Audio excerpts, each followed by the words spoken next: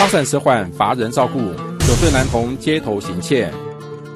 三个小孩子其实都是有点算，应该不算正常，蛮挑剔。爆粗口会哦，会会家庭因素嘛。你看，这对小兄弟在偷东西。啊，真的吗？这个也是吗？这个也是他们在偷东西。怎么会这样？这么小的小孩，哎，该怎么说呢？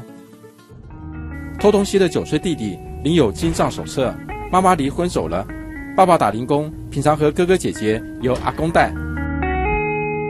他们三人都因发展迟缓，读特教班，常在街头晃来晃去。啊，好可怜哦！阿公应该照顾不来吧？也许吧。前天兄弟俩想偷这辆重机上的测速器，没偷成。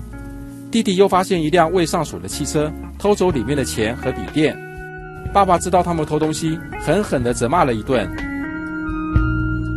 小弟弟还是算犯法吗？算啊，警方还是一切到罪送办。